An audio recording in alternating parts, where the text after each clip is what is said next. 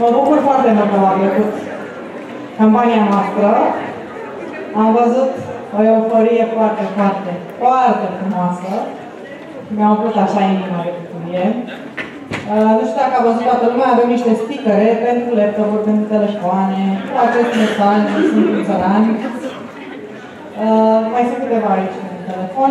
Mai facem câteva pentru telefon mai sunt. Și mai sunt la recepție la fel. Uh, dacă doriți să vă implicați în campanie, așa cum am spus și mai devreme, dați un mesaj, pe mail, ne ajută foarte mult să ne sprijiniți cu benere, ne ajută foarte mult dacă intrați și recunoașteți că sunteți niște țărani. Vrem să meargă ca un bulgăre de zăpadă această campanie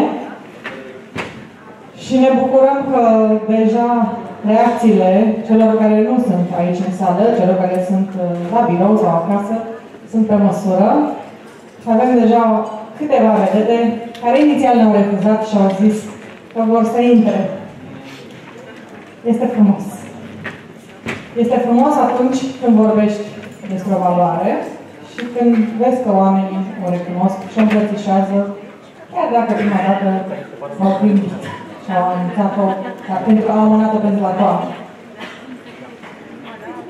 Avem o sesiune frumoasă, așa îmi place mie să zic, și una pe care o așteptăm și noi și sunt convinsă că o așteptați și voi, la finalul sesiunii vom da listele, listele minunate care vor face viața mai ușoară zecilor de agenții de PR digitale și așa mai departe.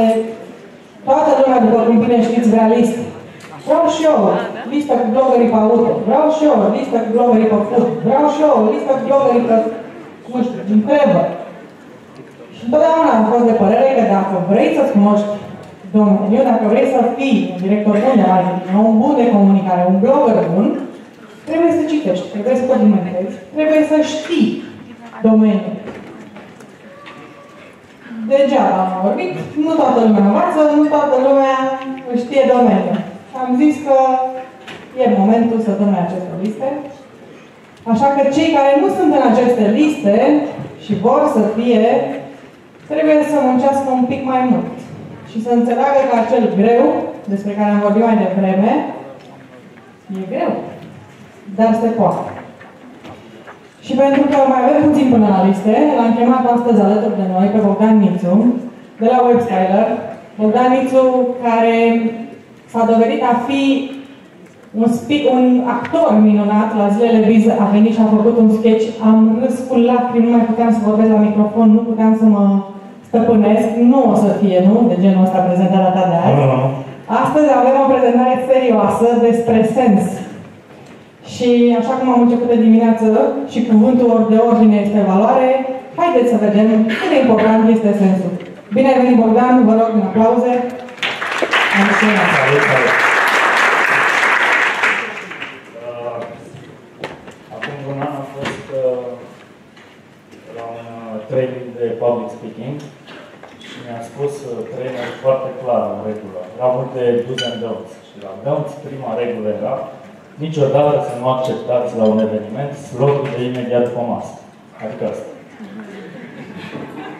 Pentru că lumea e după masă, a picat uh, mâncarea bine, s-a dus sângele în stomac, până își face efect cafeaua, o să plictisești maxim înainte de cât de bine prezinți. Uh, sau ce ai de spus. Hai să văd dacă reușesc să vă, să vă trezesc uh, pentru prezentarea a doua. Uh, a, oh, e cam ghestuită. Da, acolo aia. Uh, bun. Uh, la ce vă gândiți? La ce vă gândim cu toții când spunem social media? Dacă puteți spune ce vă vine în minte, eu zic social media, voi ce vă vine în minte? Comunicare, Facebook, interacțiune, Bani, bani. socializare, conținut, like-uri. Ne gândim la chestiile astea de obicei. Uh, întrebând clienții mei, uh, mi-au răspuns Facebook, Twitter, blogger și așa mai departe. Suntem puțin uh, uh, obsedați de, de el. Like-uri, like. Uh, și tot timpul vorbim uh, de strategii, de uh, canale, uh, ce facem cu care e strategia pentru Facebook. Am văzut în anumite prezentări uh, strategia pentru Facebook, adică strategia canal, strategia pentru Twitter. Uh, ne punem problema cum le acoperim, ce facem cu blogări. Băi, campania asta trebuie să facem și noi ceva cu blogări. Și așa mai departe, tot timpul suntem în, uh, în, uh, în filmul ăsta, mult mai mult decât suntem în filmul ăsta. Uh, în filmul real al, uh, al oamenilor. Tot timpul uh, venim cu, la înaintare cu, uh, în, uh, în cum punem problema cu canalele, cu KPI canalelor, uh, primesc, anul ăsta am primit două briefuri cu obiectivul un milion de like-uri pe Facebook. Două, deja. Uh, dar real, practic obiectivul sunt în like-uri, nu în oameni. Sunt în, uh, în niște cifre, suntem cu capul în, uh, în, uh, între copaci, în pădure, nu suntem deasupra, deasupra pădurii aproape niciodată. Uh, eu uh, m-am gândit să vă povestesc uh, despre cum văd lucrurile, inspirat fiind de un uh, lucru pe care l-am auzit la, la altcineva la un moment dat și am zis uh, uh, și am rezonat foarte tare cu el, o să vorbim, vorbesc puțin mai încolo. Uh, cum sunt ei oamenii, consumatorii români astăzi? Uh, ăștia de afară sunt așa, ăștia din vest. Da? Dar și noi suntem la fel. Uh, doar două exemple, le știți cu siguranță, da? Uh, am pus clipul ăsta azi pentru că e subiect, uh, meme-ul ăsta. Da? Puteam să aleg oricare altul. Uh, în vest, l-au inventat pe ăsta. L-am folosit și noi, nicio problemă instant și chiar, cred, în unele mult mai inspirate decât au fost ei afară. Da? Nu noi agențiile, nu noi clienții, oamenii, consumatorii fac asta. Astea sunt jeepurile alea, da? Le știți, nu sunt doar niște cozele la Metrorex. Eu am mult interes în rândul la Metrorex. Ok. Nu în ultimul rând, știți pe ăsta, știți și pe ăsta, bun, invers, da? Știți și Hey Girl, știți și Hey, hey Fly, da? Uh, nu le-am făcut eu, le-am zis foarte repede, adică nu. Uh, slide-urile astea le-am făcut foarte repede. Uh, și exemplele pot continua. Uh, consumatorii noștri în social media, în digital, nu sunt nimic, dacă nimic, în urma vestului. Cum suntem ca marketer, în schimb? Uh, am gândit la o paralelă. Uh, am folosit o dată la birou, a râs lumea și am zis hai să mai folosesc. Uh, și paralela este legată de cum ne ducem uh, la un party la care trebuie să dăm un cadou. Uh, te duci la ziua cuiva, uh, poate de Crăciun, poate nici nu. Uh, și când ne ducem acolo la partiul ăsta, uh, noi suntem marketerul, cel care uh, ne-a invitat este consumatorul. Ne cam așteptăm la reacția asta, adică ne dorim, bazat. Sau măcar asta. Ok, nu, nu explodează de fericire când noi, uh, când a văzut ce content am făcut noi, când îi dăm uh, contentul nostru. Dar de vreun fel prin like, uite like. Uite, asta e, da? Să zicem. Ok. Uh, eu cred așa, că noi mergem de fapt la party, noi cam mergem așa. Uh, și când spun mergem așa, spun că uh, mergem ca la mintă, adică uh, mergem ca acolo unde ai niște reguli deja clare, uh, în care știi cât se dă, punem toată lumea același lucru în plicul ăla, punem bani, și toți punem cam aceeași sumă, mai și întrebăm înainte, cât se dă? Cât se dă la asta, cât dacă cât dai, tu cât dai. Punem toți același lucru. E, cam așa cred că ne comportăm noi în social media, în, în viața asta. Adică să fim toți la fel, în loc să facem mai fix invers. Adică să ne diferențiem. Mă uit și văd, nu doar, nu e neapărat un lucru care se întâmplă pe social media, dar despre asta vorbim aici. Uh, mă uit și văd că dacă Lidl a obținut un milion de fani, trebuie să obțină și alt retailer tot un milion de fani. Mă uit că uh, dacă cineva face conținutul cu, își pune produsul jos în colț cu margarina lui și trebuie să și pune ceva cu micul dejun. Hai să fac și eu la fel cu margarina mea să pun în colț, să fac niște posturi foarte similare și așa mai departe. Mă uit în social media în ce content construim în general și văd că suntem real cam din același timp. A, că diferă ce? Copii, o dăm din, o dăm din copii. Uh, sau am luat poza nu de pe Shutterstock, ci de pe Getty Images. Aia ne-am făcut repede postul zilei. Uh, dar de fapt ne învârtim în fix același film și evident că ne punem și brandul mare. Să se știe că e de la mine. Pe cadou, de, pe cadou când vă ziceți la ziua cuiva vă scrieți numele, pe cadou ăla nu vă scrieți, la nuntă vă scrieți. Trebuie să știe că banii care fix e aceea sumă care este de la voi. Dacă nu, este în invitația de pe masă. Concluzia mea e că suntem cu mult, dar mult rău în urma lor. Ziceam asta când ziceam asta că ales la prezentarea trecută din Ioan ajutorul consumatorului. Uh, suntem mult în urma lor și de ce suntem uh, mult în urma lor? Pentru că nu avem curajul să mergem uh, la ce ei își doresc, ci la ce fac ceilalți, ce se face în piață, care este benchmark-ul uh, de rezultat, care este benchmark-ul uh, de uh, conținut și așa mai departe. Pentru că stăm în ce? Uh, nu, știu, uh, nu stăm în a crea o viziune pentru ceea ce avem nevoie, ci în a livra niște cifre pe acele canale. Strategia de Facebook conține la final un număr de like. Uh, Așa că am încercat să analizez puțin, asta este ceea ce ziceam că uh, m-a inspirat uh, cineva la un moment dat. Uh, următoarea situație. Cum a evoluat uh, marketingul și unde, unde am ajuns astăzi? M-am dat puțin înapoi uh, de lucru. Nu este un lucru despre social media, dar fără social media, în ziua de azi, cred că mai este nicio campanie. Pur orice faci, dacă nu te și de social media, cred că nu ai o campanie cu adevărat interesantă pentru oameni. Uh, de unde s-a plecat? În marketing modern, când zic marketing modern, mă refer la, să zic, ultimul 100 de ani. Uh, la început a fost era rațională, să zicem așa, uh, după primul război mondial, undeva acolo, și spuneam asta. Ok, produsul nostru este mai bun. Am cumpărat acum 5 ani niște ad-uri din uh, reviste românești uh, ca să ne fac tablou, nu ne-am făcut nici astăzi tablou.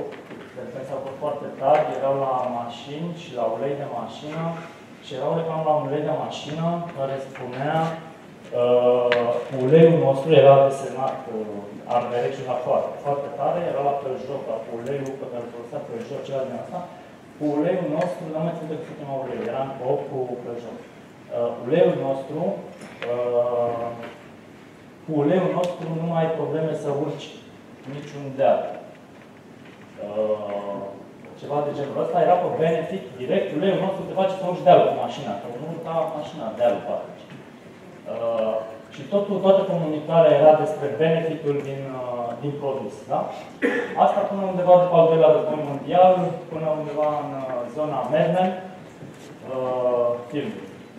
Uh, când am intrat în era brandului, în era, în uh, era emoțiilor, ne-am prins că, ok, uh, toți vorbesc de benefituri, sunt din ce în ce mai multe produse, greu să te mai uh, uh, diferențiezi doar din benefitul de produs, așa că adăugăm un nou layer, iar layerul ăla este uh, layerul de valoare ale brandului, cum te face brandul ăla să, să te simți. Și am tot stat în, era asta, niște, niște timp îndelungat, până spre până în era internetului și poate și, și, și după, când am ajuns într-un într-un uh, într-un alt punct.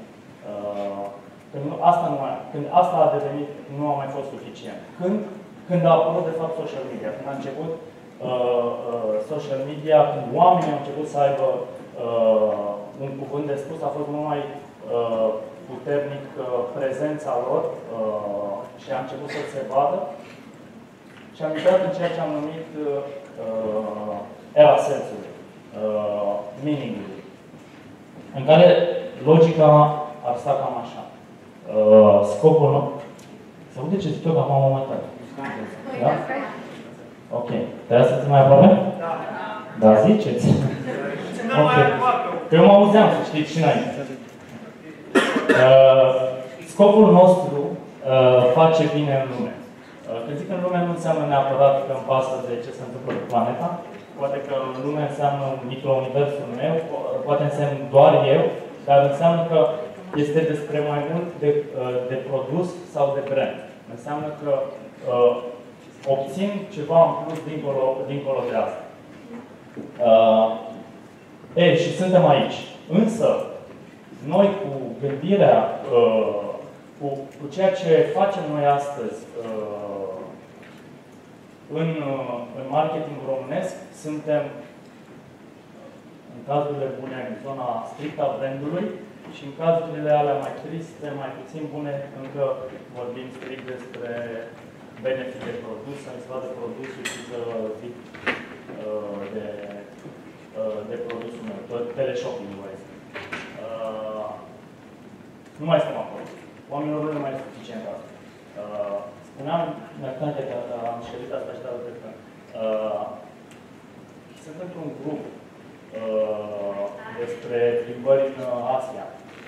Uh, și în grupul ăla, da, da, și în grupul ăla, gata, și în grupul ăla, uh, ziceam că sunt un grup, uh, uh, într-un grup în, uh, despre călătorii în Asia și în grupul ăla, cineva la un moment dat a întrebat despre o cazare simpatică într-un anumit oraș, mai într oraș.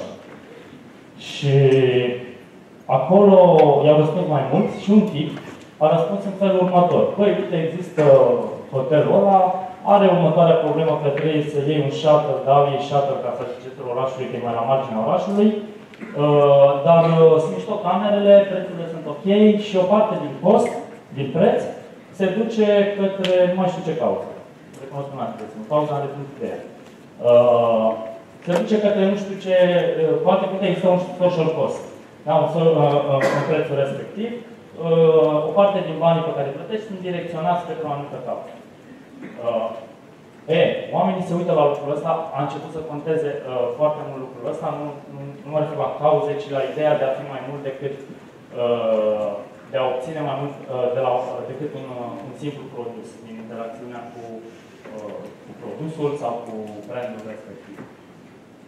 Uh, și am zis, hai să vă uh, explic ce, ce înțeleg prin uh, sens. Sens poate să însemne orice. Am dat aici, o să vedem trei exemple de ce înțeleg prin, uh, ce înțeleg prin sens. Uh, însă ele sunt multiple uh, și țin de valorile uh, fiecărui uh, public, de fiecărui grup uh, de oameni. Am ales odată utilitatea despre care tot vorbim.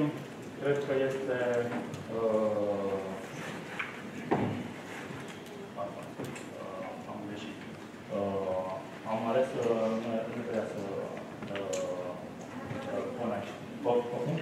Uh, mi-am greșit slide. Uh, utilitatea, am greșit slide. Aici am trebuit să fac asta. Uh, unul este uh, sensul găsește în utilitate. Uh, dar vă povestesc, chiar dacă mi-a fost. Uh, vă dau un exemplu foarte simplu, personal. Uh, îl, îl știți cu siguranță, nu e nimic nou, este chiar de la începuturile acestei ere a uh, sensului, e vorba de Nike Plus. Uh, și povestea mea personală e în felul următor. Până să descoper uh, Nike Plus, uh, știe cineva, uh, știe, e cineva care nu știe ce e Nike Plus? O mână, tare, oricum se pare tare. Hai că sunt vreo 5 minute. Nike Plus este o aplicație uh, de running, așa cum e Strava, așa cum este Endomondo, whatever. Uh, este o aplicație de, este o aplicație de running, uh, care înveți să alergi, îți uh, trekking-ul și așa mai departe. Uh, e, eu puteam să aleg un kilometru jumate până când uh, să-mi instalez Nike Plus. Din momentul ăla m-a și motivat, m-a și uh, ajutat uh, și am ajuns să fac în 2 ani de zile din momentul în care am folosit Nike Plus maraton. 42 de km, când eu nu puteam să alerg mai mult de kilometru jumătate. Uh, pentru mine îl consider, a fost o formă de utilitate, m-a ajutat să pot să fac asta. Are mult mai multe meaning-uri uh, aplicația Nike Plus, dar în context de utilitate uh, este un exemplu, este un exemplu foarte bun. Uh, al doilea exemplu este o, un exemplu de uh, dezvoltare personală. Uh, probabil că știți uh, cazul ăsta, pentru cei care nu știu, hai să-i dăm uh, e vorba de Like a Girl.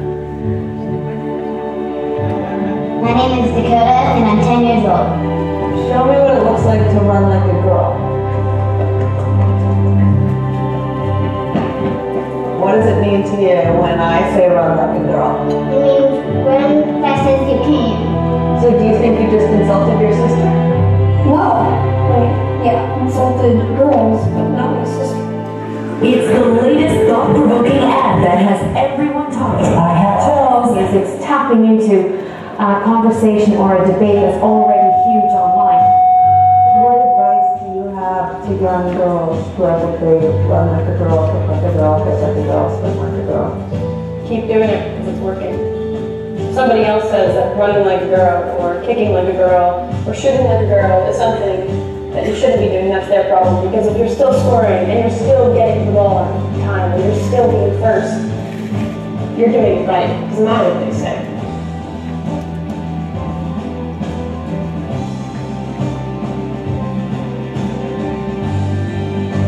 Why can't run like girl also win the race?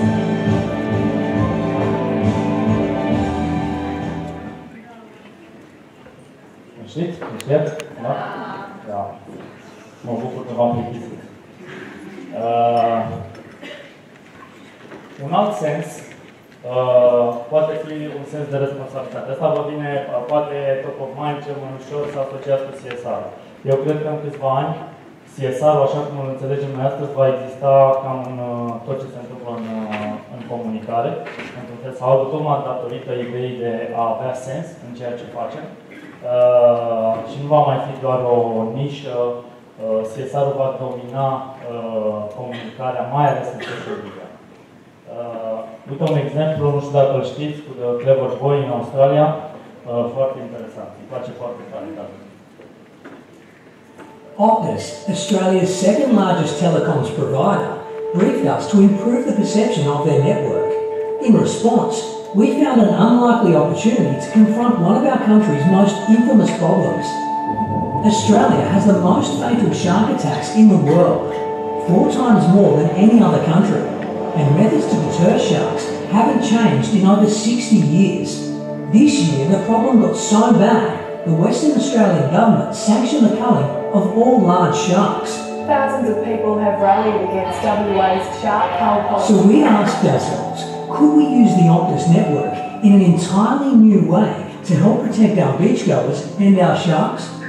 Introducing Cleverboy, a smart ocean buoy that detects sharks and sends instant alerts to lifeguards via the Optus network. The buoy detects the sharks by using a breakthrough sonar system we developed that measures the shark's unique movement. Once a shark has been detected, a real-time message is sent to the lifeguard towers via the Optus network. Cleverboy is a viable alternative to current shark defence methods in Australia and worldwide. One that's more efficient, economical and humane. World first shark detection technology to help prevent attacks. Since launch, Cleverboy has featured in over 800 global news stories, earning an audience of over 40 million through PR and social.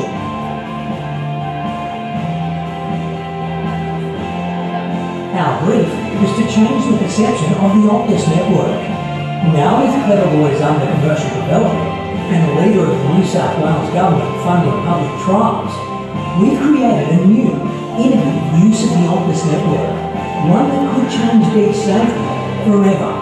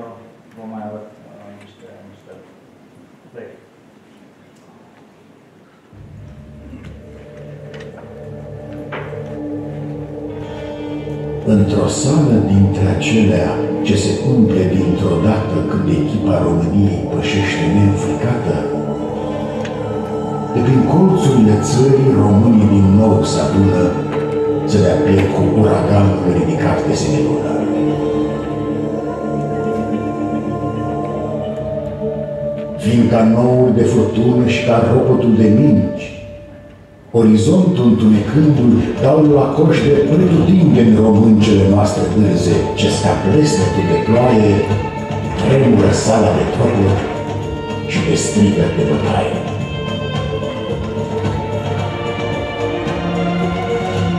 Ziua mare e aproape, hai cu toții la oaltă să amintim turcoacelor de Mircea și a lui armată ale noastre mândre fete nu se îndoaie pe vânt. Negreșit vor să le învingă din nou pe al nostru pământ.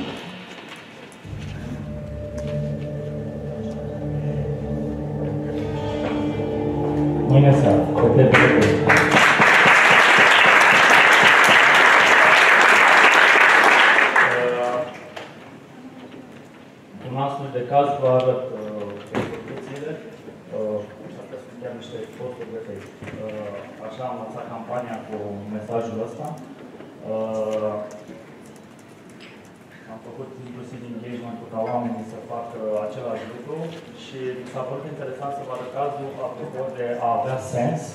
Da, chiar am terminat, nu? Microfonul prea jos. Uh, apropo de a avea sens, uh, de a face uh, lucrurile uh, să, să, re, să rezoneze dincolo de, dincolo de un brand.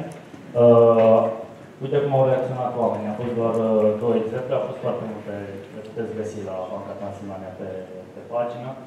Astea sunt uh, două exemple uh, ale, ale oamenilor. Logic am exploatat uh, National Pride, uh, dar care dă sens. Uh, asta uh, pe un exemplu local, foarte bun de, uh, despre sens. Cum spuneam, exemplele pot să fie, uh, pot să fie foarte multe, uh, ca, ca direcții în care să căutăm sensul în viața oamenilor, însă asta este ceea ce contează. Ăsta este lucru pe care uh, ar trebui să focusăm. Uitați de canale de social media. În momentul în care gândiți ce să faceți în relație cu consumatorii voștri sau potențial cu consumatori. Uitați de formate de content. Tot timpul aud, merg filmulețe. Nu merg filmulețe. Dacă e prost conținutul din filmul ăla, nu o să meargă. E ieftin să-mi ating KPI cu video, pentru că e mai ieftin uh, video decât poza în Facebook zilele astea. că Vrea Facebook cu share de video, da? Dacă e prost, nu merge. Mai bine nu faci nimic. Concentrați-vă pe sens și veți ce să faceți social. Mulțumesc! Felicitări de campanie, foarte frumos. Sunt convinsă că o să prindă foarte bine. E cu întrebări. Vă rog, dacă aveți întrebări pentru Aveți Petra, întrebări?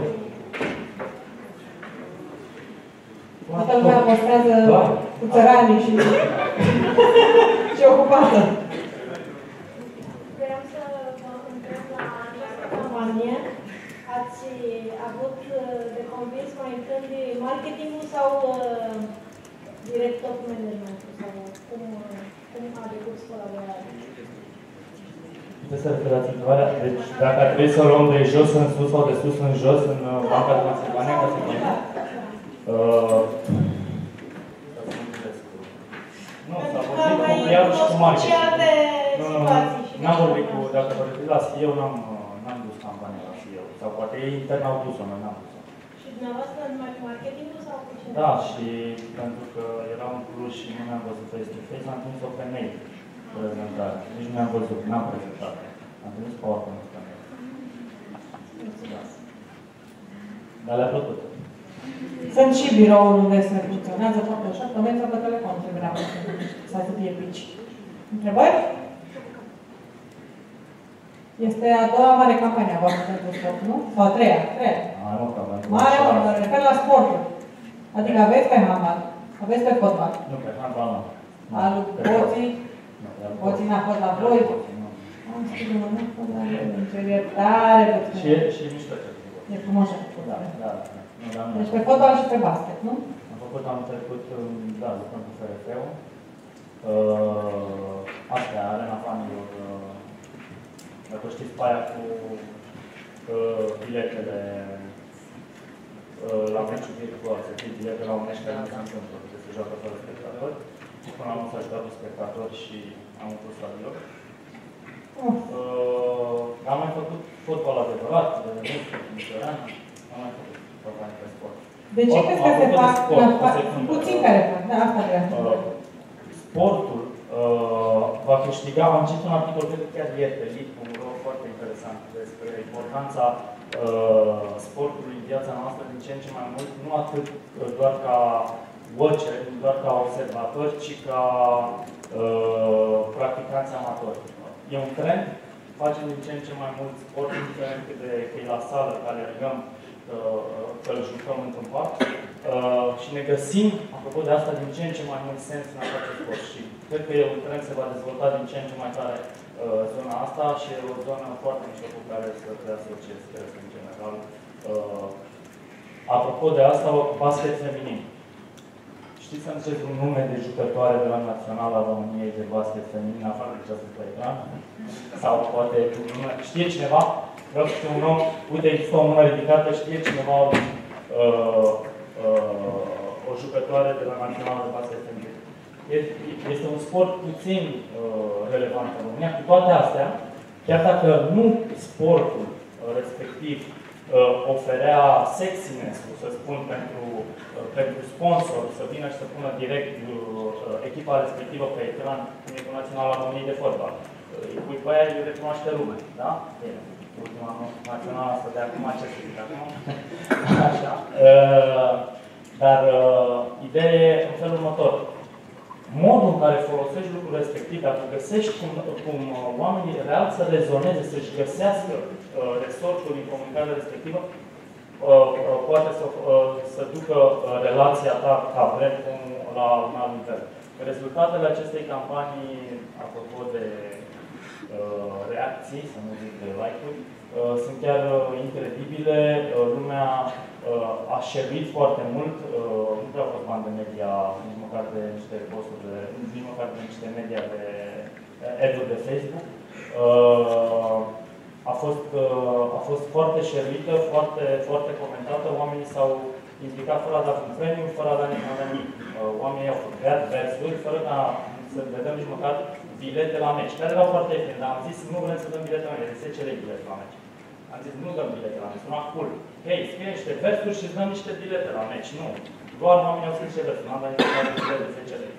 Uh, pentru că au rezonat cu, cu ideea foarte tare. Ok. Da? Mai sunt întrebări? Mai sunt.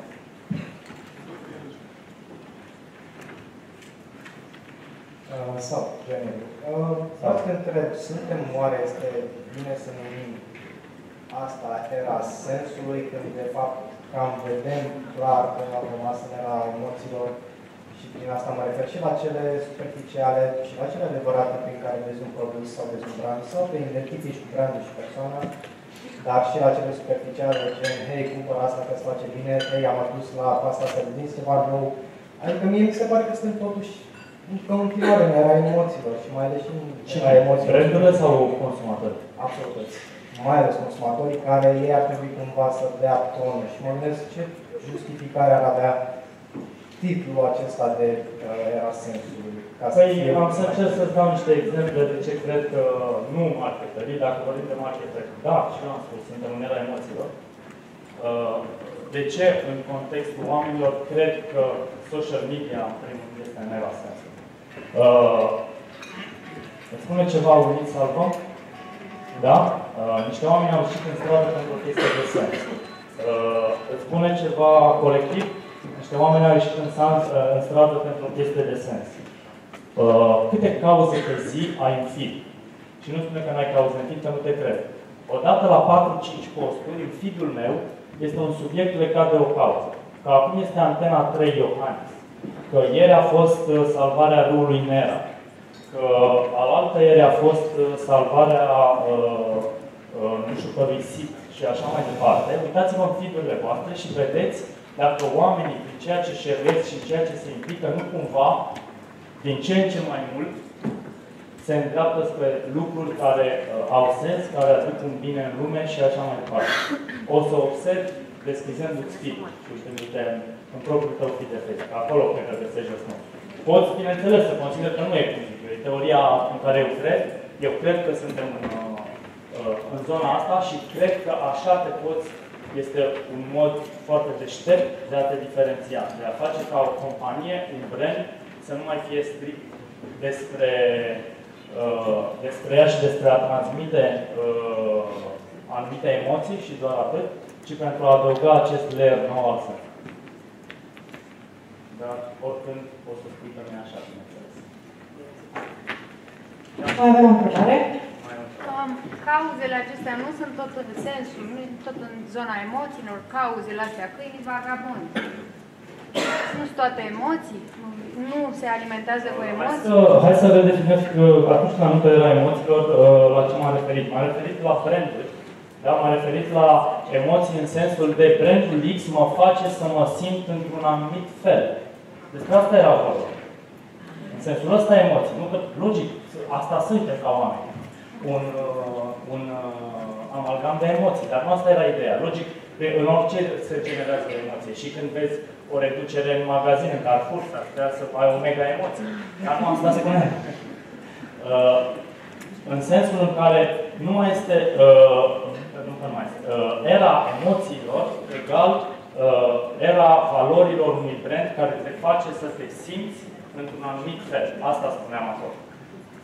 Bineînțeles, sunt exagerate, adică sunt uh, uh, explodate, aș putea să spun, emoțiile în era sensului. Sunt, uh, sunt de acord.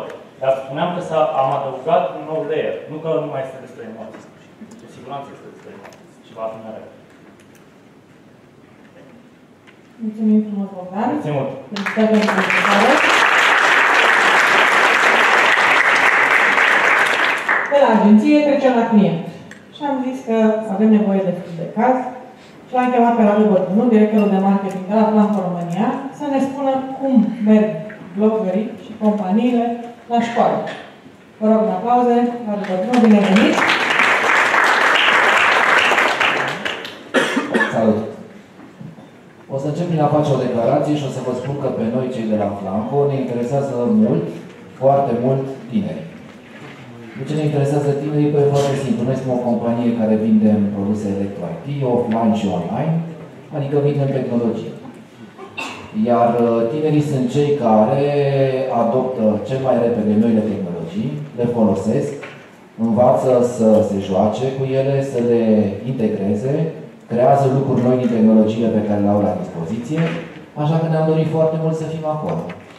Și când am început să ne gândim la tineri, ne-am gândit cumva cum am putea să legăm produsele de tehnologie cu ceea ce se întâmplă cu tinerii și atunci ne-am gândit că am putea să fim aproape de tine dacă le-am înțelege pasiunii.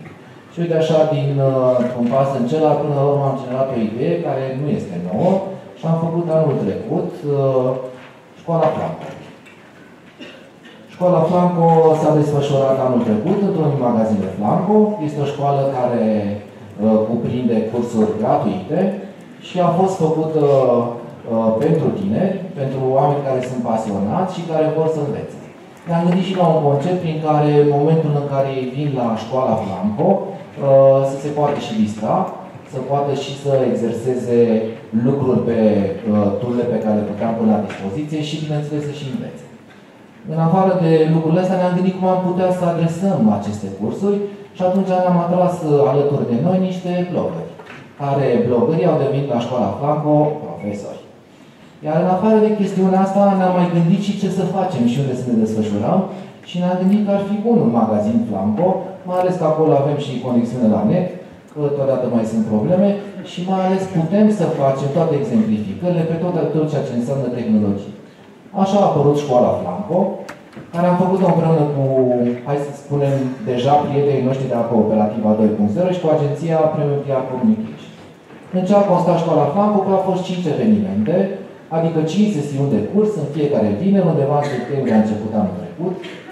Cursurile se desfășurau cam timp de 4-5 ore, începeau pe la 10, se terminau pe la ora 2. Ce se întâmplă la cursurile astea? Păi ne-am gândit că am putea să vorbim despre travel, am putea să vorbim despre fotografie, am putea să vorbim despre blogger și despre vlogger. Cum ar fi, de exemplu, dacă un tânăr vrea să se facă vlogger, cum să se filmeze? Să fie portret american, să fie din stânga, din dreapta, să-și mai pună o lumină? Poate lucrurile astea le poate învăța undeva. Așa că ne-am gândit să dăm drum la acest lucru. La fotografie a fost Dragoșa Saftei, la Travel peste așteptări a fost Cezar Dumitru, Cristian Flor a fost la blogging peste așteptări, Cristi China tot la blogging, iar la vlogging la Dule. Cam așa arăta afișul și nouă ni s-a părut destul de interesant. După cum vedeți, lucrurile sunt serioase. Avem un chitarist, avem un consumator de nu să spun ce, după aceea avem un domn, încă unul care, un domn care are niște căști și, bineînțeles, fotograful de fotograf trebuia să aibă un ochi puțin mai zumat. Ce s-a întâmplat de fapt acolo? Păi s-a întâmplat următorul lucru. Candidații s-au înscris gratuit, cei care vreau să participe la aceste, la aceste cursuri. Și am avut uh, plăcuta surpriză să descoperim că de fapt aveam mai mulți doritori decât locuri. Asta cumva a fost un lucru bun și atunci ne-am gândit cum să facem ca să triem sau să alegem niște oameni care să participe la aceste, la aceste hai să spunem, seminarii. Și uh, cei colegii noștri blogger au, uh, au triat practic uh, cei care vreau să participe și așa am făcut niște curse. Numărul de participanți era cam de 25 de finaliste, spun, pentru fiecare sesiune de blogging. Uh, și fiecare parte, fiecare seminar avea o componentă, de, o componentă practică, avea după aceea, cuprindea după aceea prezentarea bloggerului și cuprindea și o prezentare din partea unui, unui producător. În cazul, în cazul din toamnă am avut producători din zona de laptopuri, de tablete, de aparate foto. Ce s-a întâmplat acolo? Păi s-a întâmplat ceea ce vedeți, după cum, a, după cum se vede aici, avem niște oameni fericiți, avem după aceea niște oameni care au participat în camera de audiție, Wi-Fi, unde au testat un laptop și să vadă cum se aude. Am avut după aceea din partea, din partea unui producător un uh, specialist barista ca să le prezinte cum se face o cafea adevărată. Și pe scurt, aș dori să vă spun că de fapt cursurile astea au adus până la urmă niște oameni împreună, care după aceea au făcut următorul rezultat. Au avut 5 cursuri, s-au înscris 181 de oameni și au fost 77 de participanți. Am dat peste 110 premii, au fost giveaway-uri și premii. Am avut inclusiv teme și pentru teme, cei care își făceau tema cel mai bine este la școală, ce naiba, cei care, cei care își făceau tema cel mai bine primeau un, un premiu și aveam și un premiu pentru participarea cea mai activă. Am avut 470 de mențiuni cu școala Flambu, pe 200 bloguri și platform și pagini de social media, articole scrise de către profesori de cooperativa și diverse postări. Cu alte cuvinte, am reușit să facem următorul lucru, și anume să aducem niște oameni pasionați, să participe, să se distreze, să învețe și, în final, tot lucrul ăsta să apară pe ceea ce înseamnă zona de social media. Cam așa arătau postările, după cum vedeți sunt foarte multe și asta cumva certifică următorul lucru și anume că de fapt există o apetență destul de mare pentru ceea ce înseamnă zona de învățare. Și nu numai către zona de învățare, și și cât de zona de a da, și cât și capacitatea de a da share, de a împărți către ceilalți ceea ce ai învățat. Iar lucrul ăsta cred că este un lucru foarte bun și care merită continuat.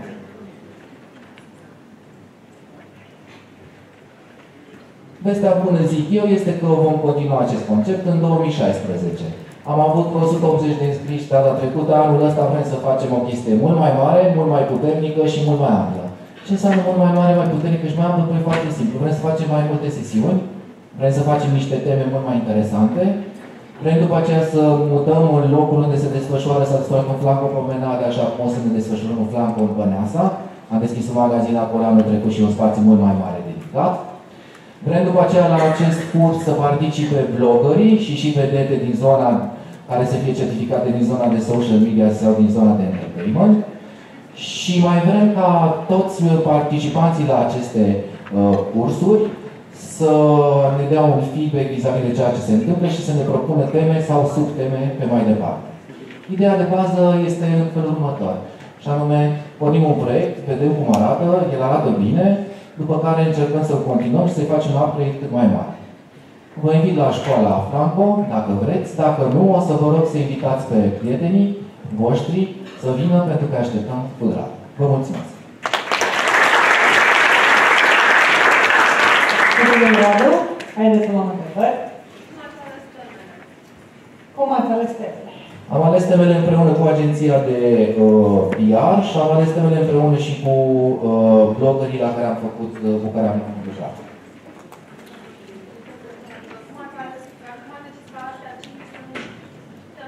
Păi așa cum am spus, noi suntem o companie care vindem Electro IT și atunci am vrut să facem o legătură între produsele pe care le vindem și ce fac tinerii cu produsele respective.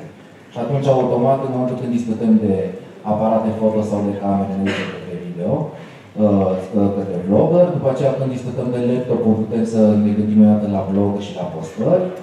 În partea de travel, toată lumea este interesată de acest lucru și poate să-și lanseze teme pe zona respectivă. În partea de fotografie, gândiți-vă puțin cât de cool ar fi un licean care începe să facă fotografii, toată lumea vine la el să facă fotografii și după aceea să le posteze și să învețe din chestiunea asta. Alte întrebări? Eu n-am întrebări, eu doar vreau să mulțumesc pentru concert, am participat la o mare parte din workshop și la acest Dragoșa Safte am și câștigat uh, aparatul foto, de care aveam mare nevoie. A, deci e real, iată. Așa că okay. m-am simțit foarte bine și Mersi mult. aștept cu nerăbdare să le cer pe școala. Mulțumim. Mulțumim foarte mult, Radu. Felicitări pentru prezentare. Mulțumesc. Ediția următoare uh, va începe cu luna martie, încă nu avem uh, detaliat tot uh, programul. Undeva după a doua jumătate a lunii martie o să începem școala Flanco, așa cum am spus, o să fie localizată în Flanco Băneasa. Mulțumim frumos, bravo, felicitări că vă iasă la mare mulțumesc. Ok. A venit momentul mult așteptat în care începem să vorbim despre liste, clasamente, influencer. Cine sunt influencerii în online în acest moment? Și am să vă rog să ne întâmpinăm un aplauze pe omul care s-a chinuit, a muncit, a analizat, a măsurat, a numărat Cătălin Cincu de la The List, de la Prior. Bine ai venit, Cătălin! Ai dormit aseară? Am dormit, am, am reușit să dorm în cele din urmă. Uh, bună ziua, numele meu este Cătălin Cincu și de vreo 2 ani de zile mă tot joc cu cifrele prin Zedis Monitor. Uh, acum vreo două săptămâni, să zic, sau trei, a venit Marta la noi cu rugămintea de a face aceste liste care să fie relevante pentru agenții și să vedem care sunt cei mai importanti jucători din blogosfera românească pe anumite domenii. Ce facem noi la Zelis Monitor?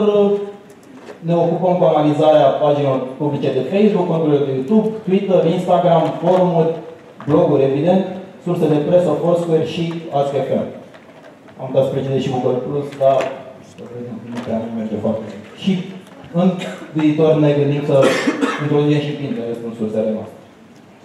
O parte din clienții care ne folosesc sunt, nu mai spunem noi, relevante din uh, industria românească, deci uh, cred că facem bine ceea ce facem. Bun. Cristi Manafu mai devreme a bifat șapte, cei șapte R ai uh, influencerilor. Eu i-am găsit doar primii trei, ca să zic așa, relevanță, rici și rezonanță. Um, în continuare trecem la, cum spunea și Marta, momentul mult așteptat, blogării generaliști. Uh, am selectat o listă de 50 de blogări, în ordine alfabetică, părerea că nu este niciun uh, fel de top, sunt doar oamenii pe care noi am considerat cu adevărat uh, relevanți pe acest segment. Citește-le numele, te rog, că te le înapoi. Pe toate? Pe toate. Ok. Deci, avem Radu Alexandru de la pichigiradis.ro, Cetina Mercea, cetin.ro, fostul. Poți să spui doar numele fără blog. Ok. Răzvan Baciu, Denisa Bârgău, Cristina Pazavan, Radu Băzăvan, Bogdan Brilinski, Ionuț Bunescu, Marius Călugăru, Cristian Chinabirta, Cristina Chipurici, Elena Cărâc, Julius Constantinescu, Ariel Constantinov, Sabina Conovac, urmează, Andrei Cizmaru, Alex Ciucă, Andrei Crivăț, Adela Dan, Cristi Dorombach, Anca Duma, Radu Dumitru, Alina și Răzvan Dragoș, Ovidiu Eftinie, Bogdan Nepure, Cristi Florea, Corina Georgescu, Florin Grozea, Marian Ionescu, Andreea Ursul Isteveanu, Cristi Manafu, Marius Matache, Ovidiu Militaru, Toma Nicolau, Andra Nicula, Gabriel Oana, Raluca Oda, Alin Pândaru, Vali Petcu, Ruxandra Prevescu, Andreea Mihai Arețea, Adriana Șandru, Corina Maria Scheianu, Cristi Serb, Ovidiu Sârb, Simona Tache, Claudia Tocilă, Cosmin Tudoran, Mihai Vasilescu și Oltea Zambori. Ok. În baza acestor bloguri, noi am încercat să facem niște statistici. Uh, nu știu exact cât de relevante sunt ele. Conform apiului Facebook-ului, uh, ne-a rezultat o medie de 997 de like-uri per articol. Uh, un articol pe zi, deși sunt bloguri care au înregistrat și de 5 articole pe zi. În luna martie s-ar fi postat cele mai multe articole, chiar îmi scosesem câteva evenimente. A fost lansarea Samsung Galaxy S6 Edge în martie anul trecut. Uh, Golinul a lansat campania cu St. Patrick's Day și a mai fost la venitul McDonald's, tot în martie. De cealaltă parte, în decembrie s-ar fi postat cel mai puțin. Uh, cele mai multe like-uri conform apelului din Facebook ar fi venit uh, în luna noiembrie, iar cele mai puține în februarie. Am selectat și trei dintre cele mai relevante articole postate anul trecut.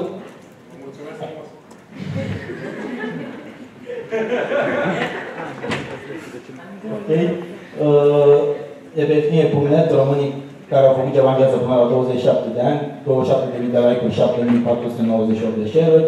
Mihai Vasilescu, de genul Rosurât Pătrânii, 26.493 de like-uri, 6.639 de share-uri.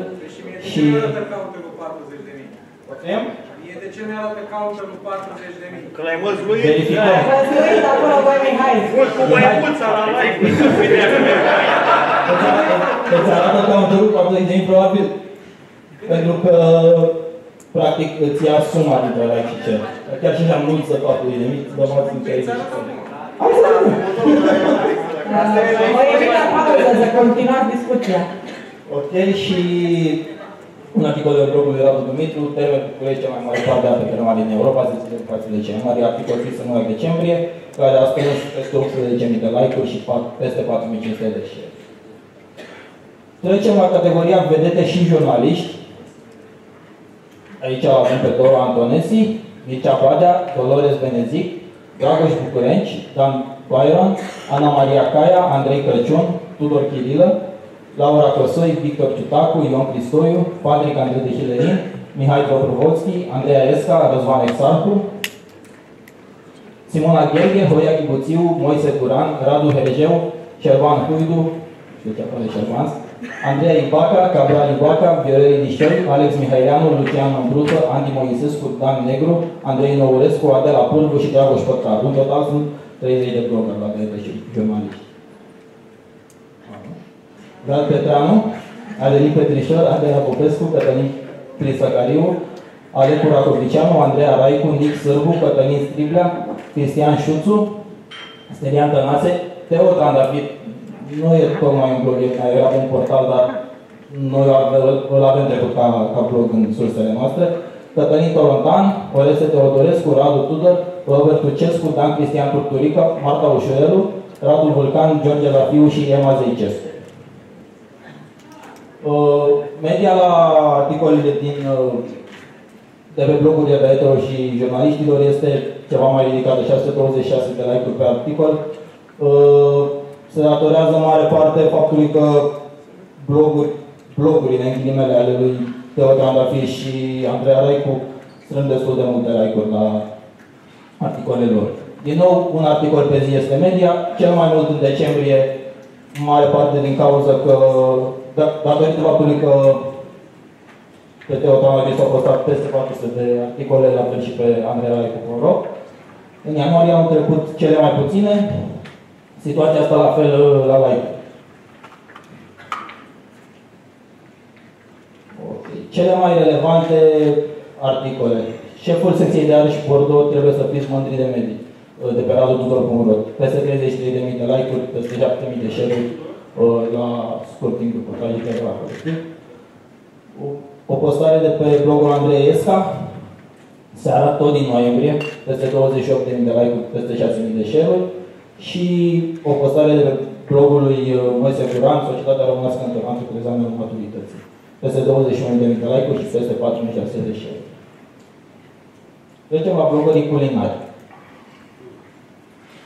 Laura Adamache, Nicol Birta, Cristian Borot, Andy Cârlan, Andreea Crăciun, Andra Constantinescu, Anca Feodor, Edith Frâncu, Oana Grecea, Adi Hădean, Oana Iglesiu și Diana Duca, Florin Itu, Laura Laurențiu, Cristina Mazilu, Ruxandra Bicu, Ana Naie, Olguța Oana, Ligia Pop, Violeta Postolache, Teodora Rogobete, Cristi Roman, Monica Roșu, Laura Sava, Mihaela Sava, Brândușa Scheaua, Mădălin Simion, Lavinia Sejeleanu, Cătălina Zaharescu, Oana Titică și Cristina Tori.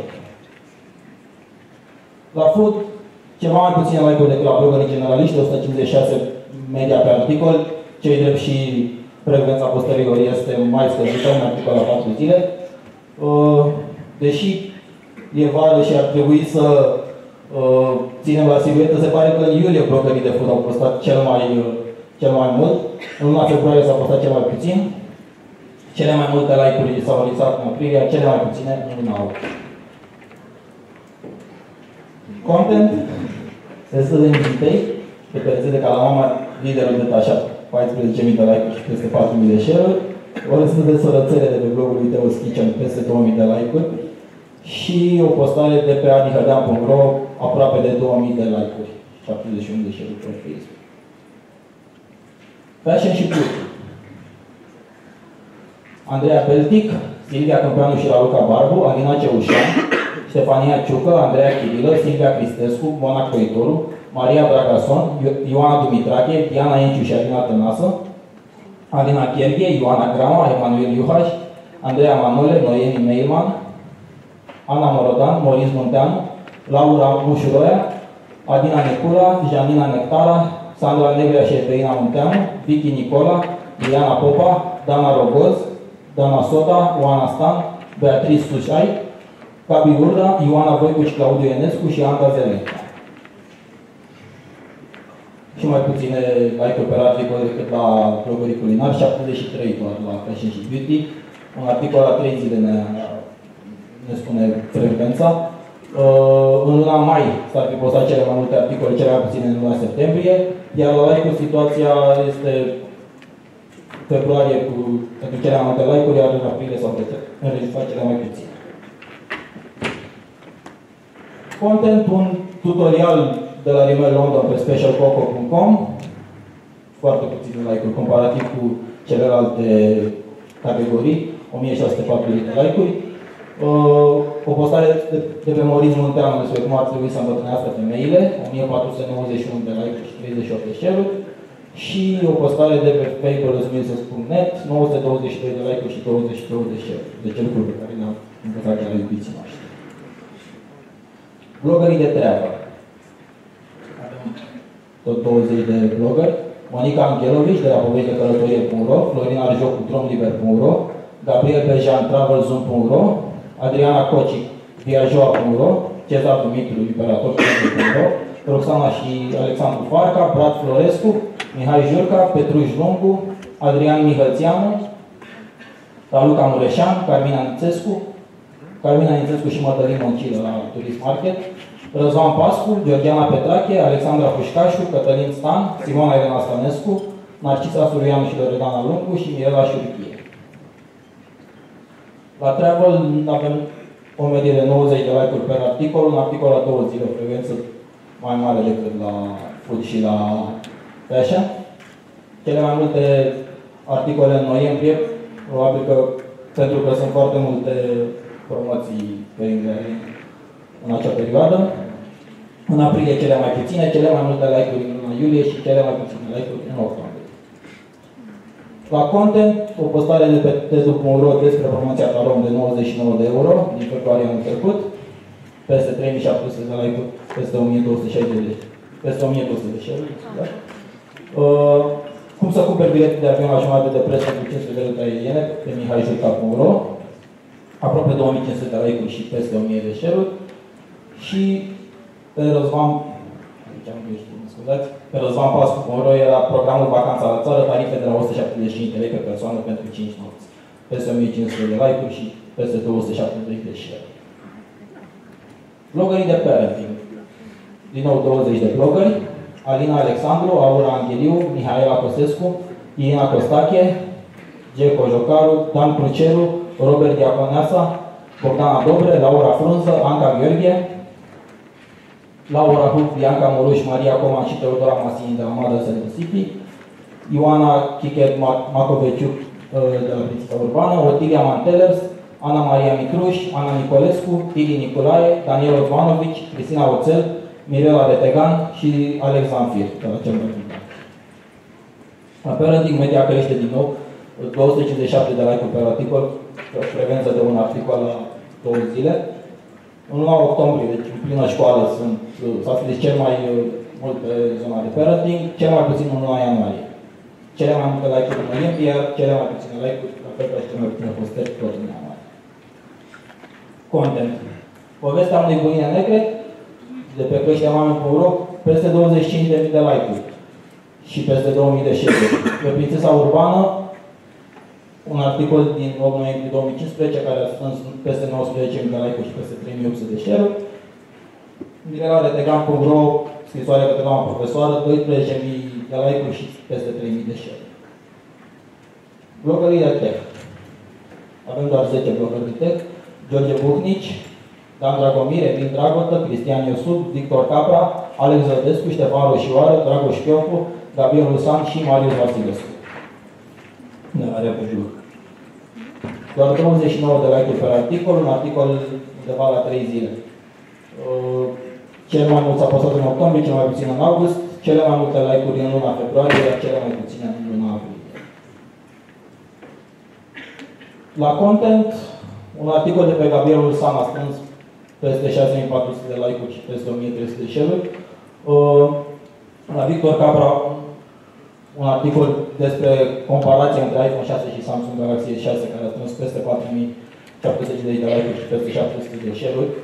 Victor Capra de altfel apărea cu mai multe articole în top, dar acesta este relevant pentru industria tech. Și un video de pe publish.ro, 724 de likes și 95 de shares. Sport și sănătate. Din nou 10 blogger, Carmen Albișteanu, Valentin Bosioc, Ramona Constantinescu, Cristela Georgescu, Cristian Mărgărit, Emilian Nedelcu, Delia Popa, Andrei Roșu, Gabriel Solomon și Andreea Vasile. 112 like pe articol, o frecvență de un articol la 4 zile. În luna iulie s-a postat cel mai mult, cel mai puțin în ianuarie. Uh, cele mai multe like-uri în la octombrie, din nou cele mai puține tot în luna ianuarie. Uh, un articol de pe andreiroșu.org despre povestea traversării canalului Mâneci a strâns peste 5700 de like-uri și peste 600 de share-uri. Povestea lui Ludovic Vieru de pe Andreea Vasile.ro a strâns peste 4700 de like-uri și peste 700 de share-uri. Și un articol de pe Cristela Georgescu.ro despre ortopedie pediatrică peste 2200 de like-uri, peste 1300 de share. Ajungem la zona relații de cuplu. Uh, Adina Banea, Ana Pardon, Irina Winkler, Radu F. Constantinescu, Alina Ilioi, Andreea Lada, Petronela Rătar, Cristian Șimonca, Bogdan Stoica și Andrei Vulpescu. Se vă surprins aici, pentru că au fost 821 de like pe articol. Pare a fi cea mai lăicuită, cea mai lăicuită mine, să zic așa. Cele mai multe articole în martie, cele mai puține în luna decembrie, cele mai multe like-uri în luna mai și cele mai puține în luna aprilie. Ok. Uh, o postare de pe inabel.com a prins peste 26.000 de like-uri și peste 5.368 de shares. Uh, Radu Constantinescu, cum se împlânzește o femeie, peste 110.000 de likes și peste 3.600 de shares. Uh, și de pe vulpescu.eu o altă postare 14.400 de like-uri și 3.300 de share. Marketing digital și media. Alte 10 bloguri. Bogdana Putnar, Costin Cocioară, Iulian Comănescu, Adrian Monoran, Ionus Munteanu, Alexandru Negrea, Orlando Nicoară, Andrei Roșca, Marius Sescu și Dragoș Stanca. Zonă nu foarte lăicuită, ca să spun așa, 23 de like pe articol, un articol la 3 zile. Aprilie, cea mai bună lună pentru conținut, noiembrie, cea mai bună lună pentru like-uri, iar la luna februarie s-a postat cel mai puțin și s-au și, și dat cele mai puține like-uri. Doar 2100 de like-uri la articolul dezinformările care au prins viteză de pe comunescu.ro și 384 de share-uri. Um, 605 like-uri și 158 de share-uri la un articol de pe mariusescu.ro și la un articol de pe blogul lui Arnaldo Nicoară, 443 de like-uri și 14 share Ok. Am terminat cu blogării și o să vedem pe scurt care sunt și cei mai uh, urmăriți vloggeri din România, ca să spun așa. Încă nu am ajuns la canalul de vlog care să aibă, canalul de YouTube care să aibă un milion de subscriberi în România, dar MightyH se apropie, are 895.000 de, follow, de subscriberi. Bianca Adam, 70.000 de subscriberi, Creative Monkeys, 647.000, Mihai Smenta, 565.000, Noaptea Târziu, 460.000, Ai Rafael, un canal dedicat jocurilor PC, 426.000, Codrin Bradea, a.k.a. Satana, 425.000, Uh, două canale de la Maximilian, Max și altele și Max și punct, cu 358.000, respectiv 317.000 și lectură de la A la Z, un nou canal cu jocuri PC de 314.000 de subscriberi. La Instagram am împărțit un pic uh, situația în vedete și non-vedete sau Instagram, ca să vă spunem așa. Avem uh, am pornit clasificarea după cele mai uh, multe like-uri primite la, pe, tot, pe toate postările de pe între contul în 2015. Astfel, Lina, cu 988.000 de follower, are 9,9 like-uri pe Facebook. Am făcut și o medie undeva la 13,9 mii 13,9 13.900 de like-uri pe postare. Adelina Petrițu a strâns undeva la 6 milioane de like-uri anul trecut, undeva la 3,9 mii pe, pe fiecare post. Antonia 4,6 milioane în total, 8,7 pe post. Delia 3,9 milioane, 2,1 pe post. Elena Gheorghe 3,6 milioane, are 338.000 de followers, 2.600 de like-uri pe fiecare postare. Nicol Șeli 3,5 milioane în total, Adela Popescu 2 milioane, Rubi 1,9, Bianca Drăgușanu 1,6 și Alexandra Stan 1,5. La Instagram cele mai multe like-uri din 2015 vin în mare parte din zona de fashion. Avem și trei vloggeri, România, Zmenta și Tequila. Alina Ceușan a strâns 5 milioane de, de like-uri anul trecut, a postat 2858 de, de posturi, adică undeva la 7 pe, pe zi, 7 sau pe zi. Matei Dima 3,5 milioane, Ioana Grama 3,1 milioane, Carmen Grebenisan, tot blogăriță de, de fashion, 2,2 milioane, Mihai Țmen da 1,7, Bianca da 1,5, Ioana Chisiu 1,3, Lavinia Cernău 1,2, Marta Lupescu, fotograf 1, 1 milion și Sergiu Giurca și el tot model 957 de mii de like. Cam asta au fost listele. Uh, pentru monitorizare online aștept să mă contactez la Cătălin Pochim doar un Mulțumesc! Toate listele sunt pe site-ul revista.ro, republicanule. Acum, în 5 minute, da? În 5 minute găsiți toate listele pe categorii pe site-ul revistei. Vă rog dacă aveți întrebări pentru Cătălin. Sediu sau care e argumentul pentru care în aceeași categorie ați introdus și vedete și jurnaliști? Nu ar putea să fie două categorii diferite? Una jurnaliști și una vedete. Și în felul acesta poate că s-ar reflecta mai De acord cu noastră, o să, o să ținem cont de ceea și de treaba asta. Să știți că mai avem ediții și le mai împărțim. Adică e prima dată când îi împărțim. Haideți să ne calmăm. Mai avem o prezentare cu tot ce am învățat și ce probleme au blogării și ce probleme au agențiile. Da, Diana, zi. Da, zi, mână, mână, mână, mână la Diana. Sugerează care sunt pe listă. Nu sunt pe listă, dar, dar, nu, e ok. Propun să băgați o categorie de fine living, de home decor, DIY, adică DIY de DIY bazar cu romuri, dar eu Pentru ce le știi, așa face de fiecare dată. Dar fiind în acele categorii, dăm... Să știi că urmează prezentarea mea. Îți vom da și asta. În prezentarea mea ești. Mulțumesc frumos, Cătălin. Dar mai sunt oameni din zona de home decor și fine living. Mai sunt, să știi că... Mai sunt din multe domenii, dar n-am găsit 10, ce vrei? Ok, hai. Dați drumul și la prezentarea mea, vă rog. Am făcut liste, în primul rând pentru că să cer liste. Pentru că toată lumea vrea liste. Pentru că sunt foarte puțini cei care cunosc domeniul așa de bine, și noi cei care lucrăm în domeniul ăsta și cei care sunt blogger de ani mulți și care știu ce înseamnă să faci cont. Faptul că i-am pus pe domenii deja ajută foarte mult. O să știe și oamenii din companii și de agenții acum cine sunt blogării, în ce domeniu scrie fiecare. Și noi am făcut un studiu, agențiile și blogării în 2015 și haideți să vedem cum arată piața.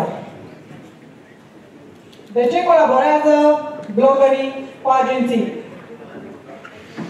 Comunicarea este mai eficientă și mai rapidă.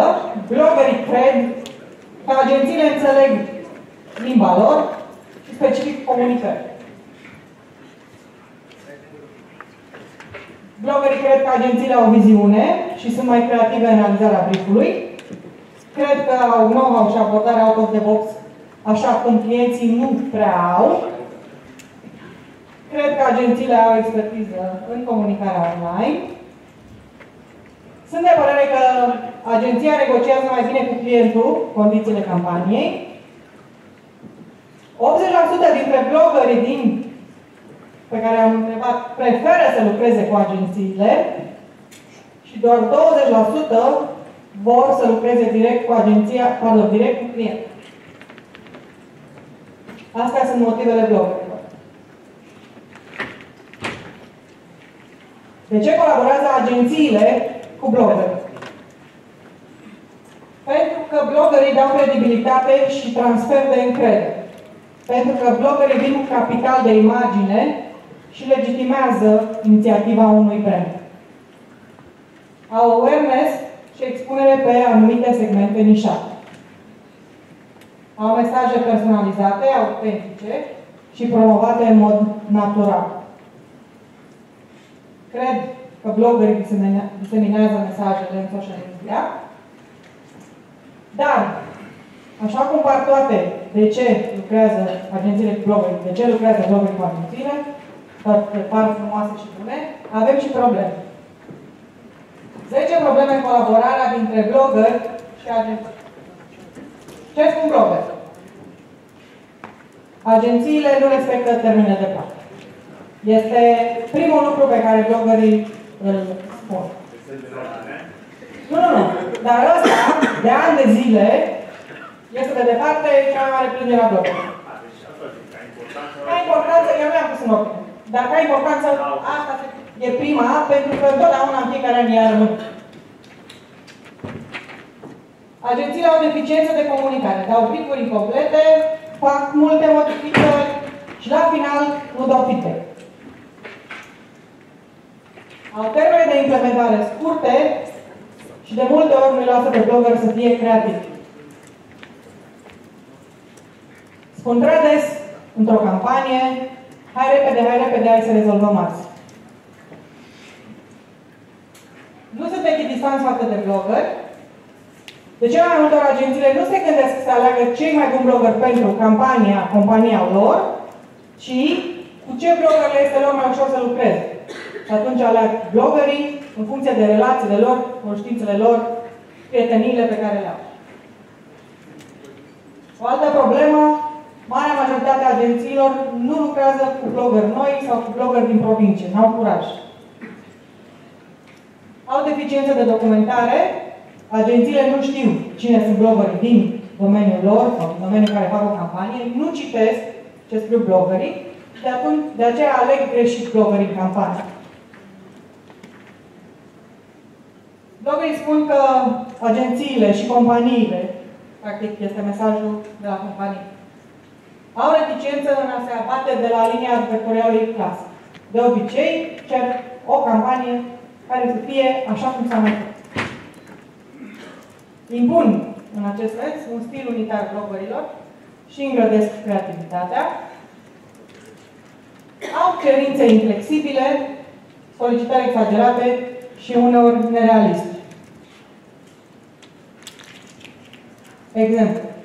Foarte mulți blogări au spus că agențiile sau companiile cer un număr foarte mare de like-uri sau de share-uri, chiar dacă informația pe care ele o transmit nu este interesantă. Am mai vorbit. Vine cineva cu un produs mediocru, face o campanie și spune că vreau nu știu câte mii de like. Dacă produsul sau campania nu este extraordinară, n-ai cum. Asta sunt problemele pe care le văd blogării în relația cu agenții. Acum să vedem problemele pe care le văd agențiile în relația cu blogării. Blogării nu sunt autentici și fac de foarte multe ori în campanii copy-paste. Vorbim de colaborarea în campanie. Întotdeauna lor li se pare că există o diferență foarte mare între posturile pe care le scriu ei la Euroblog din convingere și posturile plătite. Nu sunt prompți atunci când primesc comentarii sau întrebări extra de la cititori, atunci când au o campanie. Nu respectă deadline-urile și nu răspunde multe ori agenției sau clientului în timpul campaniei. Să spunem că dacă ar fi să facem o ierarhie, lipsa transparenței pentru rezultatele articolelor pe blog ar fi undeva în față. Companiile consideră că blogerii nu sunt transparenți sau cei mai transparenți.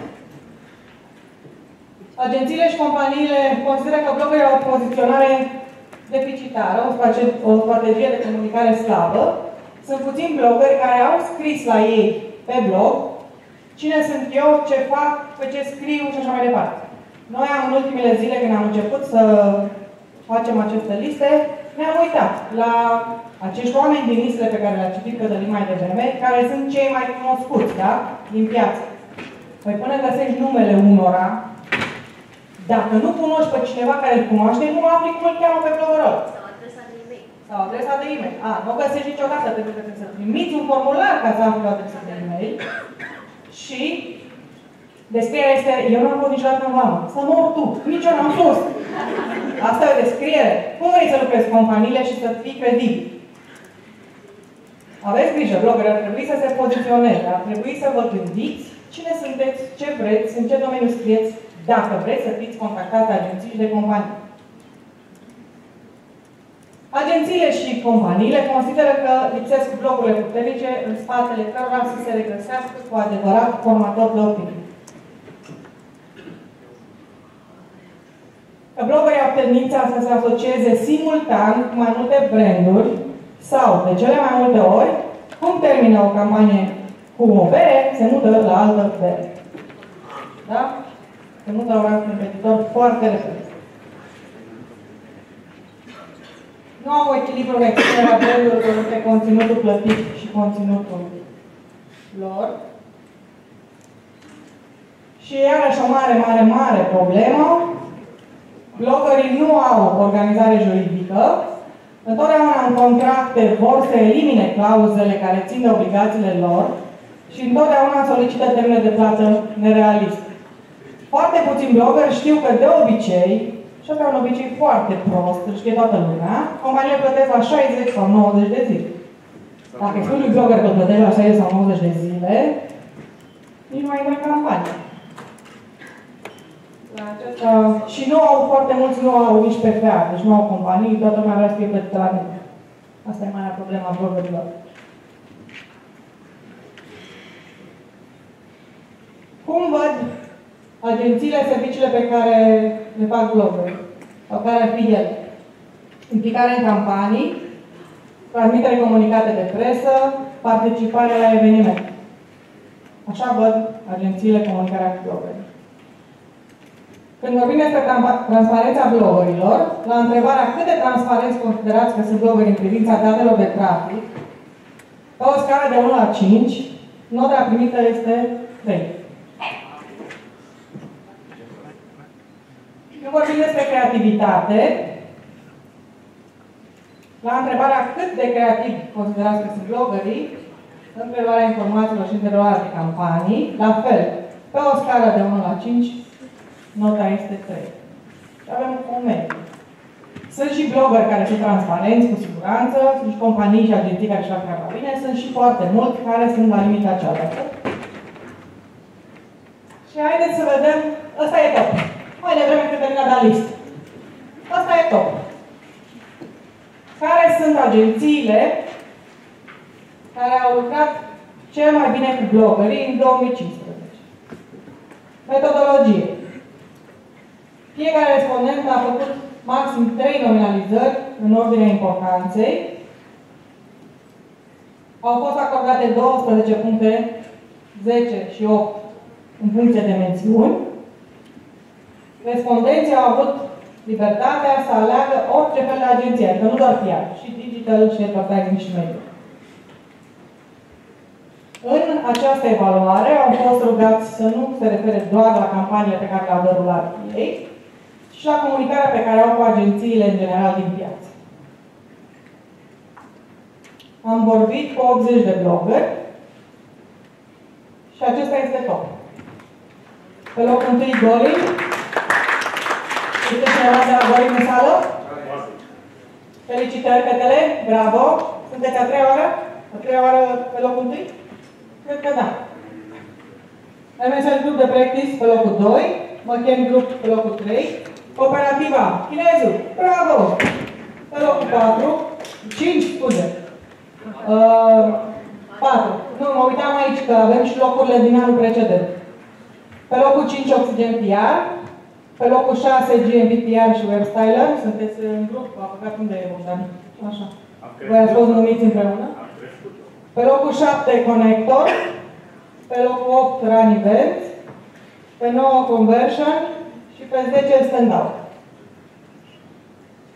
Acestea sunt agențiile care au colaborat în campanii cel mai mult cu bloggerii în 2015. Bloggerii cu care agențiile au colaborat cel mai mult în 2015. Metodologie. Am vorbit cu 30 de agenții de comunicare și clasamentul a fost uh, realizat pe același punctaj, 12, 10 și 8 puncte în funcție de menționări. Agenția a menționat 50 de globe și hai să vedem. Deci, de la 20 la 11, Răzvan Baciu, Ovidiu Primie, Dana Rogos, Ogan Daradan, Andrei Lăcătuș, Vali Dobrogheanu și Ionuț Badonea, Cristina Bazavan, Cristian Manacu, Bogdana Dobre, Maichi Haș și Simona Tache.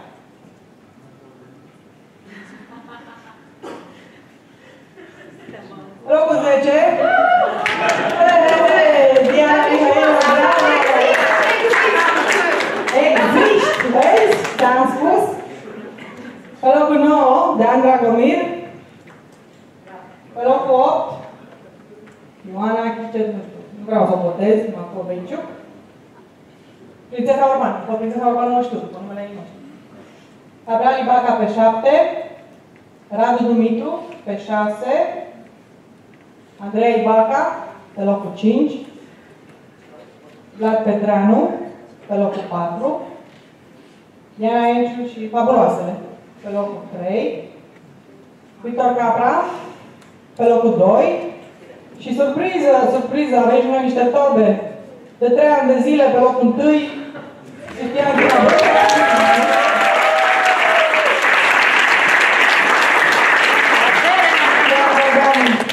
chinezul. Băi, chinezul, totul ești, nu mai vreau, nu mai vreau, nu mai vreau să vezi tot eu. A ieșit la o distanță mare față de locul 2, față de celelalte locuri. Felicitări, dragă Cristi, și te rog să vii. Te invit aici alături de mine. Vă rog să aplaudați.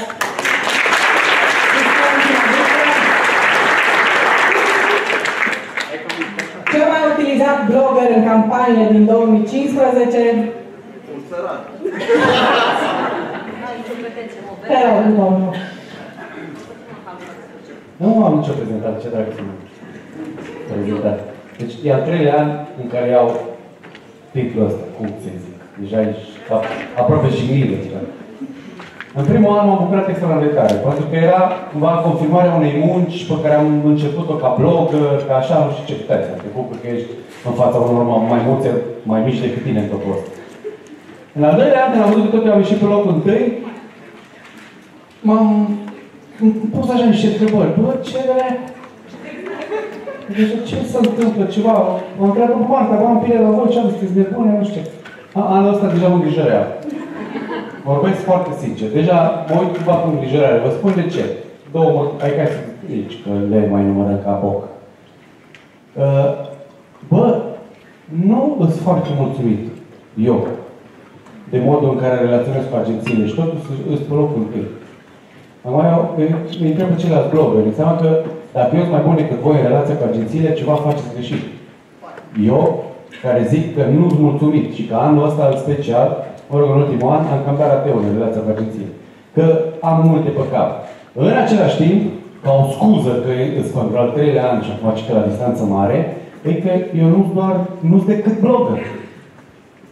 Noi, eu vorbesc aici că sunt cumva ca poarta de intrare media Novodari la ceea ce înseamnă Cooperativa 2.0 care înseamnă agenție de social media, media înseamnă o rețea de bloguri și de site-uri 30 la număr, înseamnă oameni care facem evenimente, cum ați văzut școala Flanco.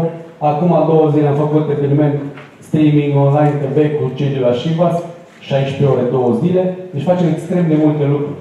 Ce înseamnă asta? Mindset-ul meu e că de fiecare dată când primesc un mail sau un contact la o agenție sau de la un client, nu contează, e că eu îl văd ca pe un lead. Pe un lead din care pot să fac niște conversii. Ăsta e mindset-ul meu. De aia sunt acolo eu. Cumva uh, corect, că și blogger, dar nu doar blogger. Adică ceilalți, mulți dintre ei numai blogger. Eu cumva le-am luat uh, așa că văd că asta e contextul. Uh, acum, eu am un singur sfat pentru blogger. Încercați să intrați în mindset de business. Încercați să înțelegeți că fiecare contact care vine de la o agenție, că vorbim aici de agenții, fiecare contact poate să se transforme într-un beneficiu pentru voi. Nu acum, că zici, ești ca mai cu Heineken și îți trimite Bergăbie și Urtus. Bine, vă pup, eu sunt cu Heineken. Eu nu sunt o viață cu Heineken. Vorbește cu oameni, explică-le. Da, da, da. Cam despre asta nu știu ce să zic altceva, că e, dar vă spun foarte sincer, nu că nu sunt orar, că ești, nu? Deci arogantul din mine, mă duc pe la pe seara asta de nebunește. La treilea ani, ce vorbiți, mă, oameni? Al treilea an consecutiv locul întâi. Băi, ești prost, trebuie să fii mândru. Dar în același timp, eu tot timpul am, tot ce am făcut a fost pe principiu, decât să fiu primul într-o piață de 5.000 de euro, mai bine să fiu al treilea într-o piață de 10 milioane de euro. Și tot timpul am făcut să, făcut, să lărgim piața, să mărim piața, să mărim piața, să cât mai mulți bani în piață. Și de aia, până la urmă, să eu să aprob mai mult, să trăznim Asta e De ce crezi că nu cresc bloggerii mici? De ce nu cresc blogări mici? Nu, nu e adevărat că nu cresc. Cresc. Dar nu vorbim de blogări mici, mie nu-mi place. Ce? Uite, ce, deci eu am 40, intru pe 42 de ani și Florea are 23. Știi? E mic blogger Florea? E mic pe buletin. Ce Nu. Blogger, există bloggeri mici, cei care nu au mindset de business. E nebunesc pe toți când vorbesc despre asta. Mindset-ul de Înseamnă, business, exact. exact. Mindset-ul de business nu înseamnă neapărat să faci SRL, să plătești taxe la mizeria asta de stat pe care o avem noi. Nu. Mindset-ul de business înseamnă tu vrei să obții niște beneficii din blog. Ca să obții beneficii, trebuie să investești ceva în blogul ăla. Investești și în urma unui complex de împrejurări, care e mai complicat, acolo e know-how, alea nu știu ce, încep să scoți. Beneficii înseamnă foarte mult. E o piramidă aia, ca aia lui Maslow. Beneficiul de bază e că nu vorbești singur. Ca prost așa, în baie. Cineva dă un, un like, cineva îți comentează, te citește lumea. Ăla e primul beneficiu. Despre asta e vorba de mindset de business. De ce e important asta? Pentru că atunci când tu ca blogger conștientizezi că cineva te bagă în seamă, tu începi să gândești un pic altfel. Un pic altfel. Iar business-ul care e blogul începe să funcționeze în funcție de mindset-ul ăsta. Sigur că la final e să ajungi milionar din blog. Piramida e mare. Dar înseamnă invitațiile evenimente, înseamnă uh, produse, înseamnă produse în test, înseamnă tot felul de chestii, înseamnă networking, foarte multe beneficii pe care le ai ca blogger. Dacă intri în mindset de business. Pentru că altfel, dacă sunt de agenția bună, sunt de la agenția cu care, interesant ce ai spus pe blogul tău. Uite, eu așa nu știu ce, tu nu răspunzi, nu știu ce, tu nu ești în mindset de business. Ești în campanie cu concurență, nu are nicio importanță. Salutare, mă bucur că așa, Frate, eu sunt o campanie, nu știu, dar hai să păstrăm pe viitor legătura că nu se știe ce este. Ori, cumva, blogger mici, nu mici la vârstă sau de când le-au apărut bloggerul. Bloggerul mici, zice, mâncați așa, am 300 de euro în campania asta, le pupă portofel. Cumva, părânește, mă piși pe ceilalți. Nu mai vreau. Nu dați. Fii prieten, nu fi prieten cu toți. Intră în relații de business. Mindset-ul de business te ajută. Să știi că o agenție e un potențial client, ca să zic așa. Un potențial furnizor de beneficii pentru tine. Și atunci, zice, ăla, că tu așa este tău, ești prieten cu toată lumea. Nu aduc pe nimeni acasă. Nu le dau lăptic. Nu le citesc povești cum îi citesc la aia mica mea. Jur. Îți în mindset de business care zice, îmi dă Cătălina mea. Ce faci, bă? Altfel, dacă nu ești și mindset-ul ăla de business de care ziceam, zici, da, uite mă și la pianista asta, asta, ce, na, eu cu bel la bere cu bere. Nu? Aia înseamnă, mai, asta înseamnă blogul mic. Să nu ești în mindset-ul ăsta. Și de aia există foarte mulți tineri, că na, auzi ești cea mai pensionar în blogosferă, Ia uite mă și la papagalul ăla de Florea, mă, ce ai făcut mă la 22 de ani? Îți dă el mie lecții. Bă, îți dă lecții. Că tu ai ars 8 ani de zile pe sistem de Tarzan Jane și vine un ciurigurit de ăsta, în trei ani de zile, opa, eu ce, ce ai făcut? E cam așa, cam asta e mechinia. Blogger mari, blogger mici nu există. Există blogger care nu înțeleg că dacă ei vor să obțină beneficii, sigur că sunt și aia care cum, stau în poezie. Eu scriu pentru mine.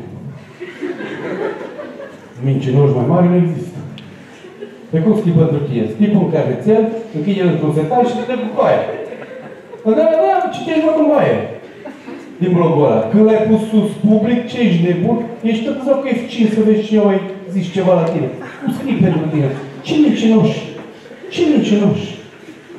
Da, nu, bine, deci de asta, asta sunt discuții multe. Dar asta fi eu și cu Marta știe că Mamă, ce-aș vrea să nu mai ajung pe locul întâi. Să văd și eu că există vreo... Mai e o chestie, com competiția, frate, ești nebun. Păi ce am făcut pe locul întâi? Eu sunt un foarte comod. Mă gândesc la ce care Dar mie îmi place pe așa, adică... Da, te-am văzut pe locul întâi, mă duc acasă, mă dau la patină, mă beau bere cu oricum. Ce ai făcut mă locul de trei ani de zile? Că să frate bun de mă apuc singur. Nu e chiar așa, adică... Știi, dar...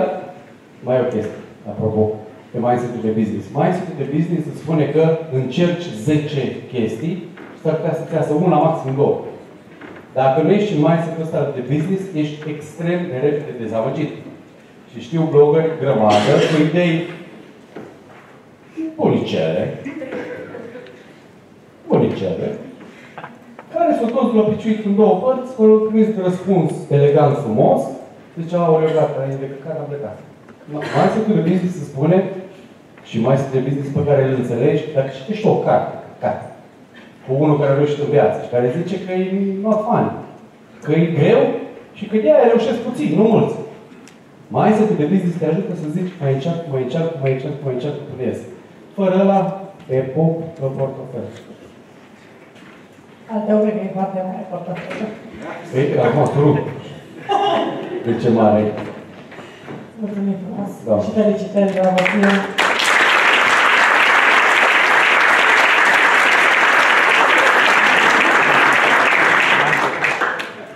Pupăche.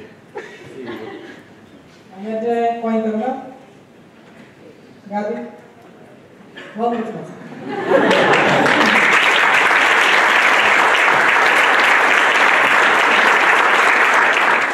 După 10 ani de stat în domeniul ăsta și de văzut și cele bune și cele rele, pot să vă spun așa. Companiile și agențiile nu răspund la telefon și la mail de cele mai multe ori. N-ar trebui să vă speriați. Companiile și agențiile nu știu social media. Nici asta n-ar trebui să vă speriați. Dar nici n-ar trebui să credeți că știți mai bine. Toată lumea învață. Pe partea cealaltă, blogării care încă sunt mici, deci nu sunt cineva vedete, să spunem așa, nici ei nu răspund la telefon și la mail. Deci în momentul în care dați și aruncați cu vina peste gard la ceilalți, gândiți-vă că așa e și la voi în cur. Și că nici blogării nu știu ce înseamnă business și afaceri atunci când intră în campanii și greșesc. Până nu am văzut cum este să fiu și eu blogger și să văd exact pe partea bloggerului cum ești tratat și pe partea companiei, în campanii eu produsele mele, n-am putut să înțeleg, de fapt, această realitate simplă, simplă, simplă. Toți avem pretenții. Primul lucru, nu avut am căutat. Pe mine m-a căutat, eu contez. Este foarte frumos să creșteți voi și să aveți acea individualitate, acea autenticitate, să aveți o expertiză într-un domeniu. De aceea am dat liste pe nișe. Așa o să creșteți, o să creșteți, așa o să fiți cunoscuți. Și așa o să vă trateze și companiile, pentru că marea problemă a companiilor este neseriozitatea blogărilor. Frustrări sunt multe la blogări, dar frustrările reale sunt de fapt la companii și la agenții. Banii care sunt, bugetul care este la o companie sau la o agenție, trebuie justificat. Bloggerul a scris un articol și a terminat și a plecat. Nu s-a terminat acolo. E de lucru. E de lucru în continuare și depinde de ambele tabele, de toate trei, de fapt, agenții, companii și blogări, să ne fie mai ușor la toți. Vă rog, dacă aveți întrebări. A fost clar?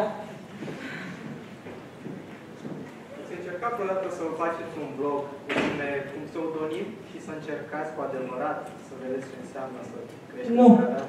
N-am încercat. Una este Marta Ușurelu, cunoscută cu istoria din Mm, spate. Ți se pare ție, pentru unii, unii mă cunosc, alții habar n-au. Au venit unii la mine astăzi și m-au întrebat uh, unde Google este... era un pas distanță. Da, știu, dar știi ce greu ajungi la Google la un pas distanță? Trebuie să deschizi calculatorul și să știi ce să cauți și să vrei mai întâi. Pentru că cei mai mulți oameni nici măcar să dea search nu fac, dar vor să știe și au pretenția să le spună cineva. Ca o încercare asta din sală. Mă bucur. Sper că v-a plăcut această ediție. Sper că au fost de ajutor listele, topurile, discuțiile, prezentările de astăzi. Sper că v-a plăcut campania noastră. Aș vrea să luați în calcul tot ce faceți, fie că sunteți dintr-o agenție de PR sau altfel de agenție, fie că sunteți companie sau blogger, să faceți ceva care să arate de fapt cine sunteți voi. Toată lumea se plânge că, vai, pe mine nu mă vede nimeni, așa spun bloggerii, companiile spun ce pot eu să fac, că nu am bugetul pe care îl are liderul din piață, sau agențiile spun că eu sunt agenție mai mică, n-am banii agenției mari sau vizibilitatea ei. Campaniile pro bono pe care le faceți, proiectele pe care le construiți, spun despre voi cine sunteți. Așa o să creșteți. Nu o să vină cineva vreodată să vă spună ia ideea asta, ia bugetul ăsta, hai să crești. Nu se întâmplă așa ceva. Nu mai visați la urși și zburători. Este o parabolă care mi-a plăcut foarte mult și pe care am aflat-o în câteva ani de zile. Nu există urși zburători. Nu vă mai păcăliți. Sperând că plecăm cu un pic de gând așa ce o să fac mâine și sperând că o să ne sprijiniți în campania noastră Sunt un țăran, vă mulțumesc că ne-am fost alături și ne vedem la următorul summit. Mulțumesc frumos!